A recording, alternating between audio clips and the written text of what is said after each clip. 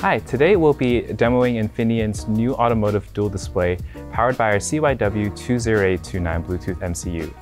With its two integrated ARM Cortex-M33s, 20829 is perfect for many use cases like home and industrial automation, medical devices, electronic shelf labeling, and automotive applications. With the rising popularity of e-bikes and e-scooters, having wireless access to vital information such as speed and map directions is key to ensuring rider safety. While there's so many applications to choose from, this demo will focus on 20829's peripheral support for automotive industry standards such as CAN and LIN, while highlighting its versatility both as an MCU and Bluetooth LE chip. Here we have a phone running the AIROC Bluetooth Connect app, two of the 20829 development kits, two CAN and LIN Shield kits, a TFT display, and a smaller OLED display. At the heart of this demo is a main 20829 kit driving and updating both displays while also maintaining a Bluetooth LE connection with the phone app. The 20829 kit on this side is emulating a speed sensor and sends the data across the CAN bus to the main 20829 kit.